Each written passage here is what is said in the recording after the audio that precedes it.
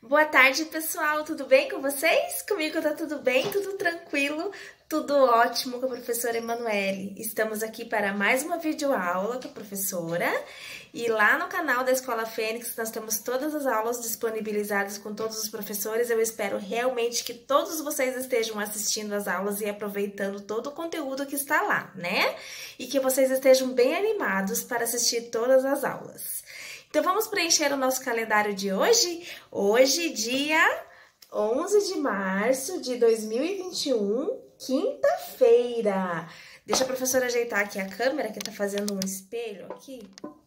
Isso. Deixa eu vir mais para trás um pouquinho. Agora sim dá para vocês enxergarem melhor, né? Então, pessoal, vamos continuar falando sobre o nosso assunto, que nós estamos falando sobre o Dia Nacional dos Animais, né? Nós estamos falando sobre os animais domésticos e os animais silvestres, não é mesmo? Então, hoje nós vamos falar sobre um animal muito querido, um animal é, que a maioria de vocês com certeza deve ter em casa. Eu tenho aqui em casa a Mel e o Pipoca, que são dois gatos. Nós vamos falar sobre os gatos, sobre os felinos.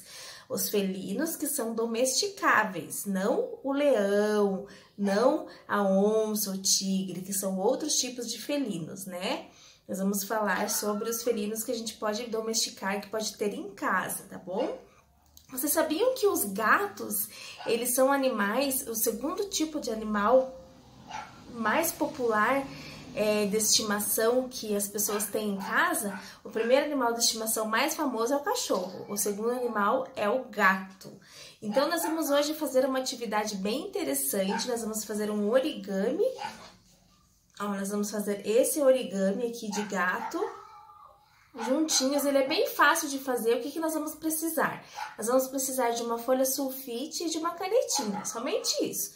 Se não tiver canetinha em casa, não tem problema. Pode ser é, um lápis de cor, uma caneta mesmo, normal, não tem problema nenhum. Só pra gente fazer o desenho do, do rosto do gato, tá bom? Aí vocês podem desenhar conforme vocês quiserem. Eu desenhei conforme eu quis aqui, conforme a criatividade, tá bom? Então, vamos lá para a nossa atividade?